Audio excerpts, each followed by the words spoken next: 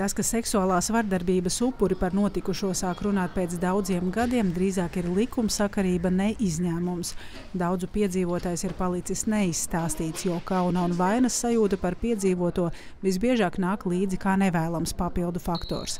To apzinās un izmanto arī varmākas, zinot, ka cietušais kaunēsies un klusēs. Tāpat ir cilvēki, kas jau šobrīd ir um, nedaudz lielākos gados un ir sapratuši, ka Eh, tā pieredze bija ļoti, ļoti sena, bet tās sekas joprojām nāk līdzi un ir nepieciešams atbalsts. Un eh, mēs, mācoties viens no otra, varam šo atbalstu gūt.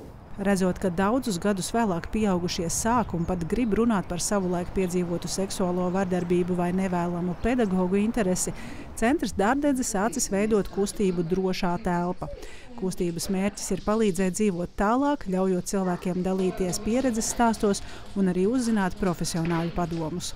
Mēs maijā tiešsaistē satiksimies, sāksim ar tādu lekciju par to, kā, kādus nospiedumus mūsos šādas pieredzes var atstāt.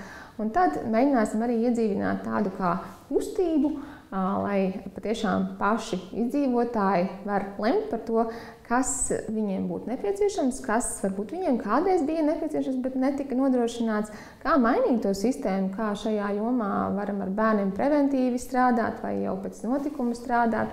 Šai kustībai joprojām var pieteikties centrā dārdedze. Tā ir arī iespēja dot savu padomu, lai palīdzētu citiem pārdzīvot notikušo.